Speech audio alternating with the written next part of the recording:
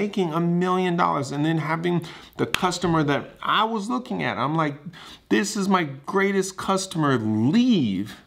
Like all of a sudden, it's like, whoa, what's gonna happen now? Like, what do I do? Like, I just like, now I went from four machines to six machines. Now I got more guys. I'm working day and night. We're making it happen and a huge amount of our work is gone. What do I do? You know, and and it's a crazy story. As fate would have it, all of a sudden, the very next day, you're gonna see this in my journey, like it happens a lot.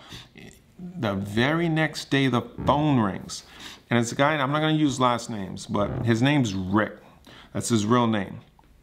And he calls me from Schilling Robotics down in Davis, California. And he basically tells me, hey, Titan, you know, we have a company down here and we build ROVs. And I'm like, okay, you know, that's awesome. And he's like, hey, we'd like you to come down and have a chat with us.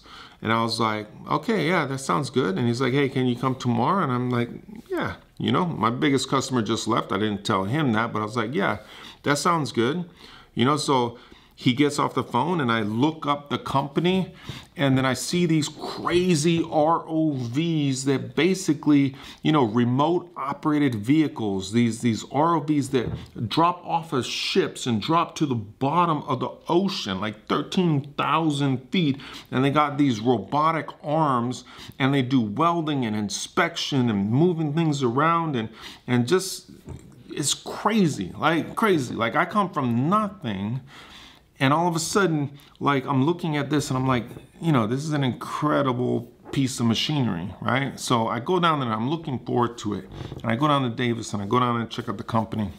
I'm walking around, they got big tanks, like big tanks and huge cranes, and they're dropping these ROVs like down into the water and they're testing them. And they have like all these computers where they're like flying them around and stuff. And, you know, Rick's giving me a tour of this place, and there's just so many workers and so many CNC machines and just manufacturing happening and assembly happening. And, and it's just like boom. And I was just literally like, like I was just blown away, right? So Rick's like, hey, we got this new HD heavy duty ROV and like, you know, we got all of these um, things are getting sold right now and, and it's a big deal and, and we're so busy with these other ones that we're keeping everybody else busy and we need a good vendor.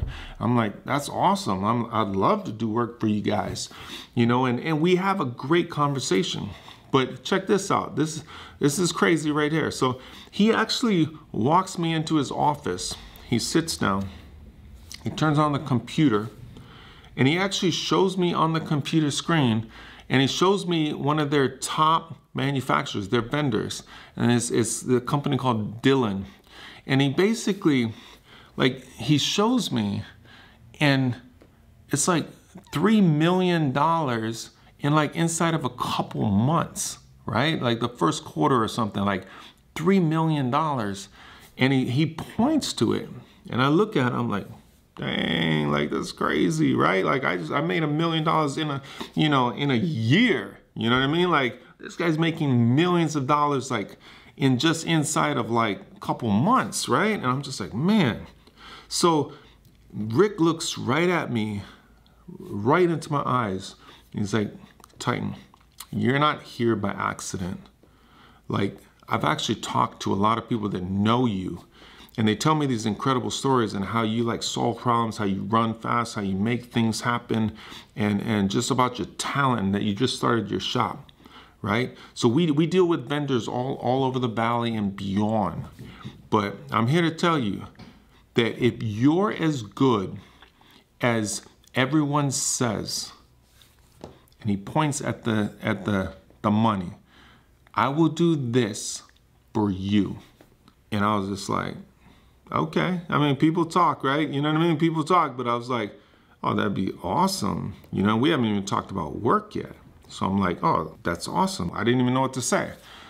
So he says, the owner of the company, I'm not gonna mention his name, but the owner of the company has a part and it's a big part. And then you got O-rings and, and all these different things going on and stuff. And it's tight tolerance, okay? And it's made out of 604V titanium. And it's an incredible part. And basically, he needs it inside of two weeks. And he's like, there's only a few people in the country that we even trust to do this, but nobody can do it within those two weeks. So because I've heard so much about you, you know, this is a good way to test you out. We're gonna actually give you this part. Can you do this part?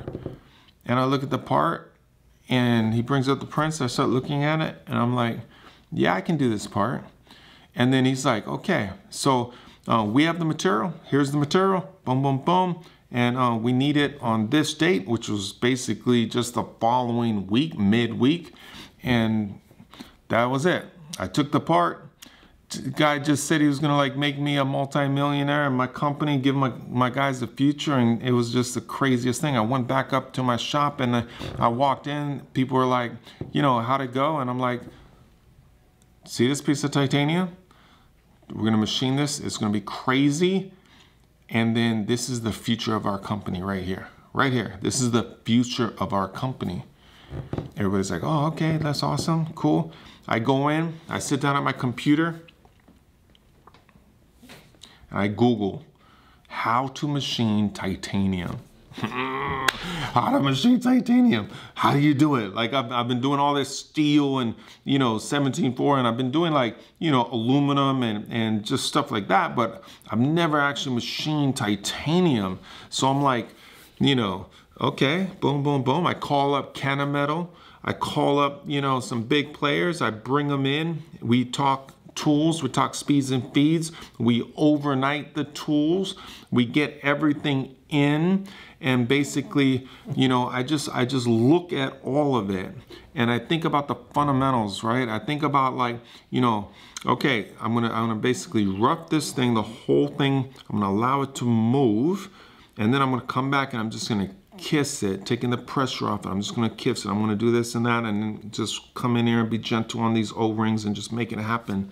So basically, I spend the next week machining this thing day and night, just making it like absolutely perfect. At the end of it, like basically like like spit shined it. You know what I mean? Like just just made it glisten, made it gleam. Like it was a big piece of jewelry and and I was so proud. Like I went back down to Schilling and and I met with Rick, and he's just like, uh, "Hey, you got the part?" And I'm like, "Yeah, you know, I got the part." So I give him the part, and he's like, "Hey, so and so, the owner of the company, come over here." So then he came over, and and basically, you know, I gave him the part, and the owner, actually, I'll just say the first name. Okay, the first name's Tyler. So Tyler walks me in to inspection, and he says you know, hey, I want you to inspect this part. Here's the drawings, here's this and that. So he basically walks me out. We walk around and he starts telling me about these 200 ships that are basically in the Netherlands that are getting built. And each one of these like ships has two ROVs and and this the, the, ships are being built out like past 2017 and it's their new HD heavy D duty ROV and basically they're so booked to capacity with everything else that they're doing they're just in need of vendors and stuff. And and we're talking and stuff. And he's like oh the part looked beautiful and everything. Let's go back into an inspection and check it out. So we go back into inspection. The part is on the CMM They've done surface testing, they've done everything. And basically, the inspector looks right at Tyler and says, Look, this is literally one of the best parts we've ever gotten or has come through our doors.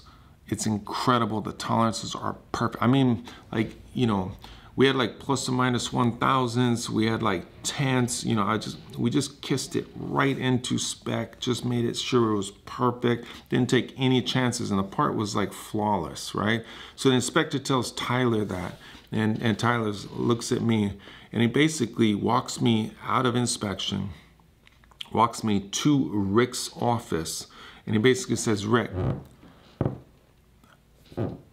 the part was is incredible the tolerances are perfect. Like, we need somebody like this. We need a vendor like this. Give Titan as much work as he can handle. And we just went, right? I'm just like, okay, like I'm in awe, right? Give Titan as much work as he can handle. I drive back up. It's like an hour back to my shop. I drive back up. I get back. Everybody's like, how'd it go? I call a little meeting and I'm just like, you know, by now I got like, you know, six or seven guys. So I call a meeting. I tell them like it was like great and this and that, and they're to give us work. I go back in. I look at my computer. I look at the computer and all of a sudden in my email, I just see like boom, boom, boom, boom, boom, like just print after print after print after print.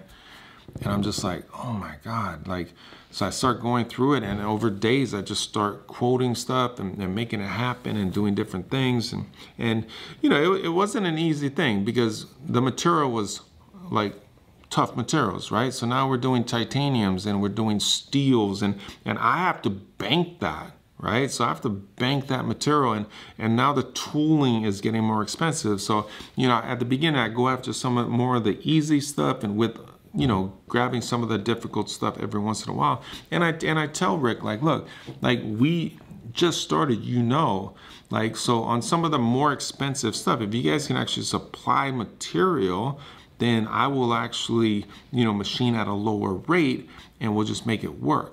And he, he agrees and, and we just start making parts. And literally like within like weeks all of a sudden we're delivering parts boom boom boom. I asked for them to pay me early because there's so much cash flow going out of the company right? And all of a sudden like every single time they're inspecting parts they're just perfect perfect perfect. Like it's crazy right? And and we're just doing such a good job for them. And then like, and then it's just like this. And we're doing work for other people, but it's just going like this. And the demand is just getting bigger. The demand is getting bigger and the demand is just getting bigger.